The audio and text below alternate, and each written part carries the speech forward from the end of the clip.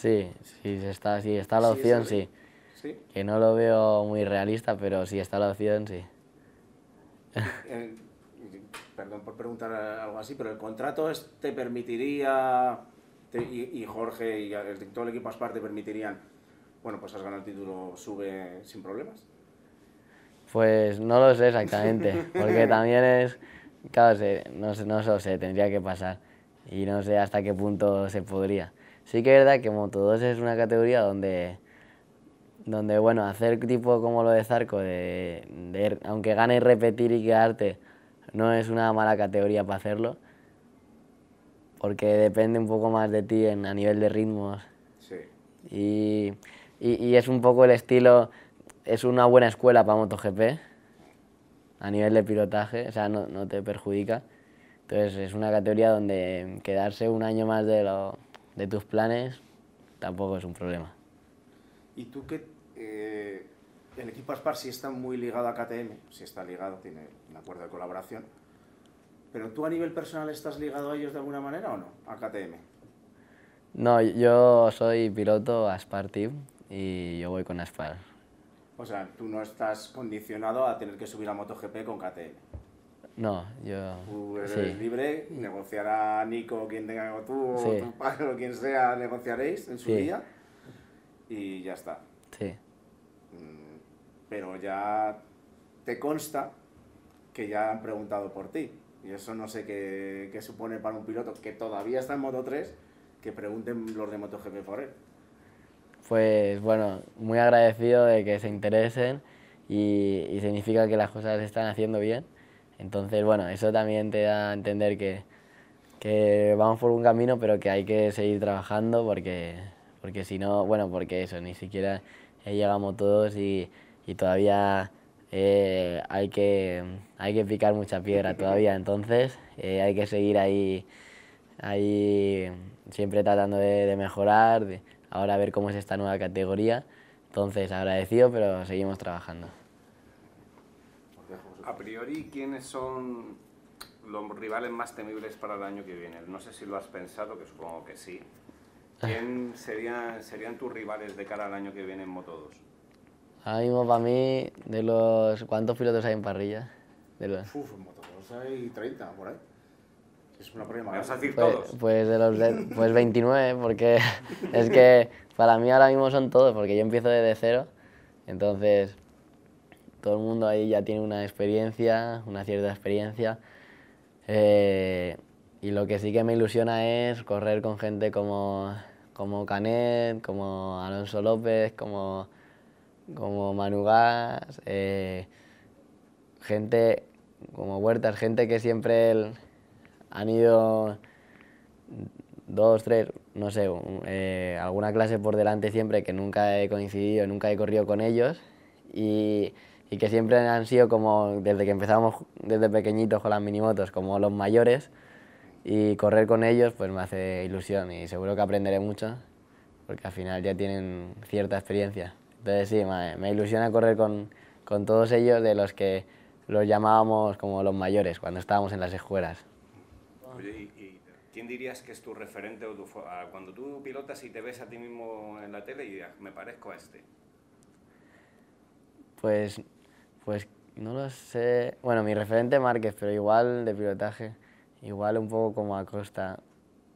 Puede ser, no sé, porque soy como un piloto así como frenador, que le gusta hacer así como las curvas en, en V y, y que no soy tanto de paso por curva. Entonces, bueno, intento ser lo más completo posible, pero sí, un poco, sí, quizá el estilo, el estilo Acosta, no sé. Es un poco, Pero- sí, acortáis mucho la curva. Sí. Me gustaría saber qué piensas al final de las carreras, porque eres una máquina. ¿eh? O sea, al final, cuando llegan las últimas vueltas, todos los que estamos viendo las carreras, este al final la va a hacer. ¿Cómo- ¿Qué piensas? Bueno, ahí trato de, Eh, pero mantienes- trato- te mantienes tranquilo, eres, o sea, no te pones nervioso, ¿no? O sea, Trato de hacer un ejercicio que parece muy simple, pero es muy difícil en esa situación, que es respirar, que se nos olvida respirar a veces ahí. pero respiras encima de la moto y dices, "Vea, pues, y entonces trato de... Porque tengo, o sea, uno tiene marcado un puntos calientes, ¿no? En la pista, de puntos donde pueden pasar cosas. Y, y luego hay otros puntos que son, pues te puedes dar un respiro. Entonces en esos puntos pues tratar de, de relajarte y de bajar pulsaciones, o sea, estar con las puls- pulsaciones bajas eh, y un poco tener sangre fría y para, para pensar bien qué, qué decisión tomar. Porque en las últimas vueltas eh, ya todo el mundo tiene prisa, eh, se hace todo muy en caliente, entonces hay que tratar de estar lo más frío posible para poder pensar. Para, y siempre tratando de, de eso, durante la carrera, ir pensando en, en ese final. Oye, cuando subas, ¿te imaginas ganar una carrera escapado? Eso no lo sabes tú. En Moto 3 es difícil, ¿eh? Sí. Eso será una cosa difícil, sea, va a ser muy diferente de cómo ganas ahora en Moto 3. Sí, en Moto 3 a mí me hizo especial ilusión y, lo tenía muy en mente de que quería ganar una carrera escapado este año. Y cuando la gané en Estados Unidos es una de, las victorias más especiales para mí porque era un reto difícil escaparse en Moto 3 y, quería, quería hacerlo alguna, algún día. Y, mira, pues esa fue muy, una vi- victoria muy importante para mí. Quizá esa me dio mucha confianza luego para, para todo, porque era al principio de año, la tercera carrera me parece, para, para luego lo que, para todo lo que vino. Oye, ¿y ¿qué piensas ah, de haber eh, eh, superado a Rossi, un récord de Rossi en victorias? ¿Eso cómo, Sí. cómo, cómo te sientes con eso? Sí, bueno, bueno, hay que destacar que Rossi tenía menos carreras, o sea, no, no le quito ningún mérito y... Bueno, que y también puedes Rossi- ganar la 14 también, eso también hay que decirlo, ¿eh? Sí. Y entonces, bueno, siempre es una leyenda. Y, y llegar a, a esos números, a estos números, eh, pues la verdad que para dárselos a las Spartin, que es el equipo que más subió desde pequeño, es, es muy, muy gratificante. Y, y bueno, eso significa que eso, que estamos, que estamos en buen camino y que, que hay que seguir. Pero sí, este año siempre lo recordaremos. Está hablando con Jaime de que tu dorsal me llama la atención el 80. Sí. Eh, sé más o menos un poco la historia de que no te pones límites o algo así, ¿no? Sí, es como el número sin límites. Pero tú este, te lo cambiarías por el 1 en el futuro, ¿lo has pensado? ¿O vas a tener siempre el 80? Sí, ¿eh? No es- Sí, alguna vez lo he pensado. Imagínate, gana- ganas en MotoGP, ¿te pondrías el 1? Puede que sí, ¿eh? Puede que sí. Porque es... O sea, el Es 80 una no, eh, no, o sea, se puede alterar, se lo puedes cambiar. Sí, igual se podría alterar por el 1. Tendría que ver en esa situación cómo estoy, cómo es la situación, si me conviene cambiar el número o no, pero... Pero bueno, Esto del 80, ¿cómo lo has pensado? Porque me ha llamado la atención, es una idea muy buena. ¿Cómo se te ocurrió? sí, porque... Bueno, yo quería un número redondo. Yo... Es que yo empecé con el 10, pero de- Ah, desde muy con el 10. pequeñito, desde muy pequeño. Pero porque como era pequeño digo, ahí en el cole tal que la mejor nota que es el 10, pues yo quiero el 10. tal. Anda, y entonces, y entonces digo, pues el 10, que es como la excelencia, como tal. Y entonces por eso me puse el 10 y luego ya el 80 fue, pues porque justo son los dos únicos números que, que eso, no tienes que levantar el, el boli del papel y, y no, no, no tienen un fin. Entonces, de, como, de hecho, como el 8 es el infinito así eh, puesto de pie, y, y entonces digo, mira, pues como encima quiero un número redondo y, y son los dos únicos números que, que les pasa esto, entonces es como el número sin límites, que no tiene límites. Y lo vi un poco así. ¿Eres supersticioso? Eh, o sea, ¿tienes supersticiones? Cada vez menos. Intento quitármelas. ¿Pero te- tenías alguna? ¿Qué hacías?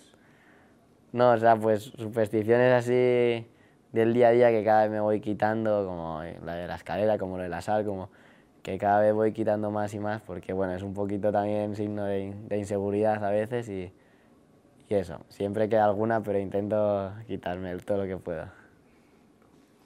Yo te quería preguntar, has hablado de la concentración al final de las carreras, pero yo te quería hablar de otro tipo de concentración. Cuando has ganado ya el título, te quedan todavía carreras, como ha sido tu caso. ¿Cómo haces para seguir concentrado y seguir ganando?